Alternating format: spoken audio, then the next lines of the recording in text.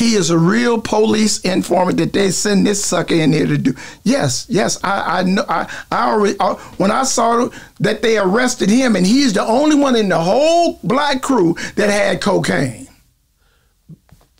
Show did. Everybody else get arrested, but he the only one. Now he the mule for for Diddy. Yeah, we on Boss Talk 101. 101. Yeah, we gonna talk. So uh, going back to the P Diddy stuff, right? Yeah, that's what I was about to ask Um, about. I, What I- P Diddy? Why y'all picking on P Diddy? no, but that's the thing I'm trying to fa- figure out is I'm not picking on P Diddy, but No, he definitely with is being no, picked no, I'm not picking on P Well, Diddy. yo, you brought him but up. I'm bringing him up because I'm trying to figure out as far as long as P Diddy been doing what he's been doing, as in like in the entertainment industry, creating stars and doing you know his movement and throwing these parties, having a lot of friends in the industry.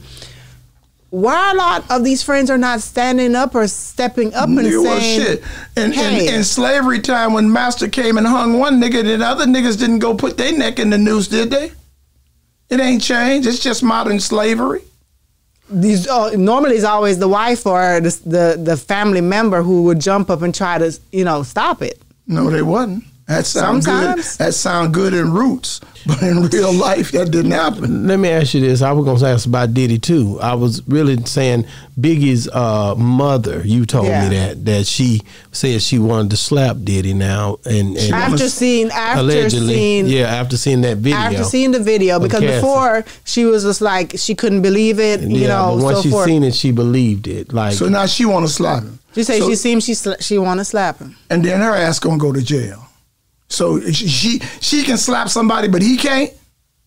Make it make sense. She ain't. She's not beating him up like that. She gonna give She him gonna one slap him. slapping. How it That's started. For, different. for uh, the a girl, they allegedly she was gonna slap me, and she gave me a two piece and knocked me the hell out. I ain't hell no. I want to ask you. I, I want to keep it on that Diddy. I want. I mean, you and uh, uh, you see, Gene. Gene is still. He's campaigning every day. He got a new video out every day. Gene Deal reveals Diddy's drug mule was a confidential informant. The white guy that did it. Did you Did you hear that as well? No, I knew that when I saw that Crocker. You, what made you think that? What is a 24 year old white boy doing around you unless he's a setup? The man don't look that bright. He is a real police informant that they send this sucker in here to do. Yes, yes, I, I know. I, I already I, when I saw that they arrested him, and he's the only one in the whole black crew that had cocaine. Show did. Everybody else get arrested, but he the only one. Now he the mule for for Diddy. And this bitch ass nigga Gene Deal, he got spoiled grapes. No, yeah, I knew that. How you know you ain't been around him in years? Where he get the information from? He worked with the police too. Oh, he is the police, ain't he? Gene Deal. Huh? Yeah, I remember you said y'all ran up on him when what was seen Yeah, him. he was up against that wall like he like he was a fly on it, and Puffy jumped over the rail and went to the limousine. Wow. You got to understand, man. Uh, all of the stories that that that Gene actually talks about, uh, he always uh, talk about Diddy, Diddy this, Diddy that. He was around and seen a lot of these these things happen, uh, or dealt with a lot of the. And he did. He he was around, and he didn't have enough intellect. Being a big bodyguard, a big dummy, a stunt dummy, he mad because he never made Diddy buy him a house. He don't have any long money. Out of doing all being around him, it hurts you to be around a millionaire and see him spending all this money, and then then they fire you. Do you feel like Gene Deal is uh, right when he say Oprah and Gayle and them should have spoke out for Diddy? What shit? Why didn't Because they spoke, spoke out for him? For him, That's what he said. yeah. Did Like he now- speak out for him?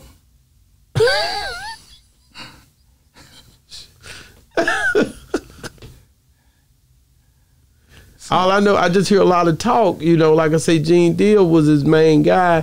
Now would be the time if you really rock with him to, to be there for him. Yeah, well, he wasn't rocking with. He ain't. He ain't like Puffy since they separated. Did he? I wonder did he get fired? I didn't know hear how to separate. I got to research that. He, he didn't leave on good terms because it's still, and he ain't a homeowner. He ain't riding around in a brand new Benz, so he didn't leave. I, I don't I don't have nothing to say about no detail that I've been on negatively Yeah. because I got my piece. I bought my house through security.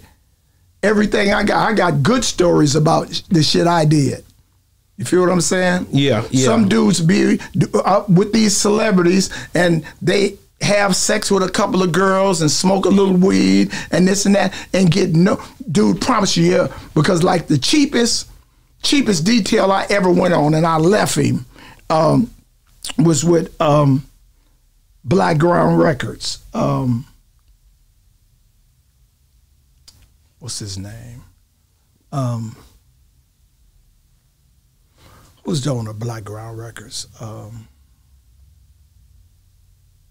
we'll talk about that again some other time. If you on a if you on a detail and you see uh, Diddy or whoever anybody slap their mama, Gene Deal talks about uh, Diddy slapping his own mama. okay. Um, what's your reaction in that? Shit, shit, his mama ain't paying me. He is. shit, slap who the fuck you want to slap. You just go, you just go chill. You go sit back. Ain't my. I, I, I would tell you something, but I, he knows something. He knows something. He knows something. He holding it back. He holding it I back. can't, I can't put it out like that. But I, I, I had to tell her, hey, I'm with Team Tyson, homie. I don't, I don't know whatever you're going through. let me let me ask you this: Do you feel like because uh, G, he also says that uh, um, Diddy should uh, um, Biggie's mom should sue Diddy for for lying. He lied to her, you know, when it comes down to her son and uh, you know all the stuff that was going on with Bad Boy. Uh, he says that now, but when the stuff was actually taking he place, said a word. he was over there with him. Yeah, spoiled grapes. Now you want to say, yeah, he should have done this because he he held back on this. Well, you held back on shit too, because you was there when when Biggie got killed, and you knew Greg Kading was there. You knew the police was there, and when you identified the person that did the shooting, you said he was a little peanut head, looked like a Muslim, and they said it was Amir Muhammad. Then uh, after Poochie get killed, everybody said it was Poochie. Poochie looked like a little pit bull. Been wearing a beard ever since. So they had lined him up. So you was part of the setup too. Wow, it's it, it's a lot of stuff going on with them tapes, man. So you know, uh, you you see a lot of people trying to figure out ways not to be a part of it. I think that's why a lot of time they quiet. They don't, nobody want to be seen right now talking about what happened when they was over there. So people Nobody falling back, people falling back. The fallback Every- game serious. Everybody's scared. Nervous if something You know else gonna come out. Yeah. You know? Wow. So like I'm just saying, me and Shaheed, me and Captain Shaheed Muhammad was there. And y'all seen y'all seen a lot of this stuff going on. Seen on. a lot of it. That's why, I, and I, I love the fact that that that when you guys was dealing with stuff, you you did you didn't come back and expose different things uh, about what was going on on those secret details or whatever they had going on. A lot of times in a negative way because you was there to do a job. Well, I ain't a party to your party. Eh, Whatever you doing uh, with the Nation of Islam, we don't smoke, we don't drink around you, we don't you don't even eat around you. When you're doing a detail, you doing your job, and we stay doing our job. So if you go by, I'm not gonna sit in a room with you and five women. That's Yeah. that's your thing. Whatever you do on the other side, I said I just happened. I was assigned to go on the other side of the door when I partake and this saw what was going on with with B Brown and Vivica Fox, right? Yeah. So it was just, and I didn't disturb it.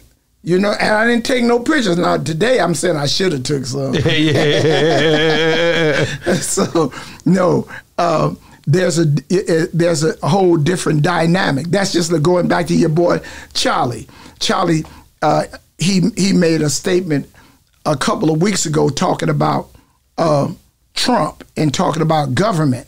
And he says the problem is that everybody has a nation. It comes to America.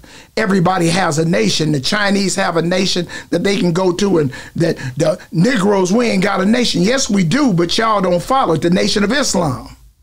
So no matter what your dynamics are or whoever you believe in, if you have a better program, let's follow your program. If you don't, fall in line. Wow. On Boss Talk 101. 101. Yeah, we gonna talk.